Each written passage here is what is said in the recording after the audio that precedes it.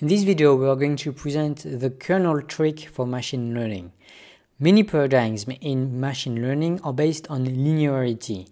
This is the case for linear regression, logistic regression, neurons in artificial neural networks, and support vector machines.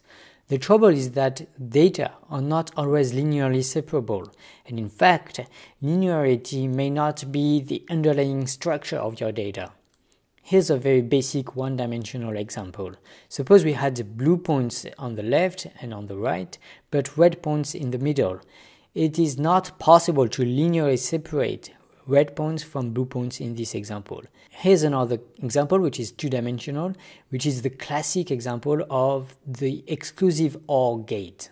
Most of basic machine learning algorithms cannot learn from such data points unless unless you use some clever preprocessing of the data. The kernel trick is this clever preprocessing of the data. The basic idea of kernel trick is to embed the data in a higher dimensional space using nonlinear transformations.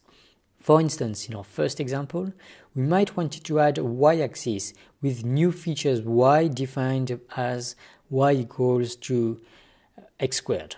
Amazingly, we obtain data points in a two-dimensional space that are now linearly separable, and our classical machine learning algorithms will then perform perfectly well for these higher dimensional data points. And we could have gone even further by adding still other dimensions like defining z equals to x cubed or w equals to the log of x and so on and so on.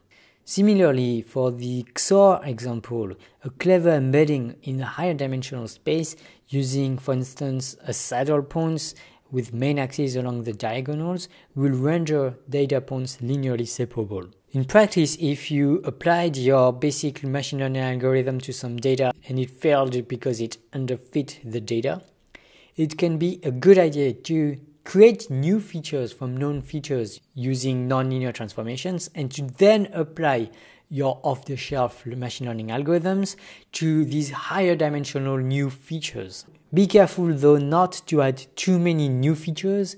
You do not want to overfit your training set. Now this is all great, but if you just double, triple or multiply by 10 the dimension of your feature space, then the computation time of your machine learning algorithms may explode a hundred or a thousand fold. And that's where the kernel trick really kicks in. Instead of embedding your feature space into a higher dimensional space, the kernel trick will embed it in a, wait, wait, possibly infinite dimensional Hilbert space.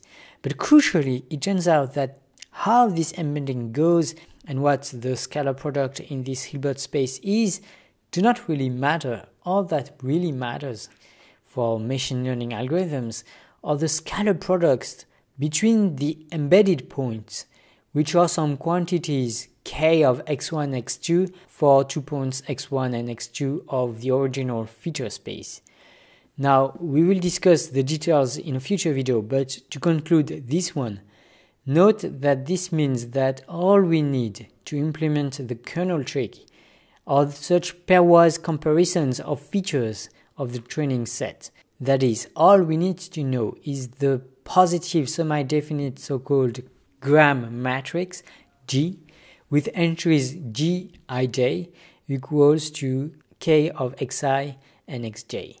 An example of kernel k you can use in practice is the so-called Gaussian kernel, whose details I'll skip, but which eventually gives you the formula to compute k of xi xj as the exponential of minus the norm of xi minus xj squared divided by 2 sigma. Crucially, using this Gaussian kernel, you can both separate your data and use an efficient LSVM algorithm or whatever.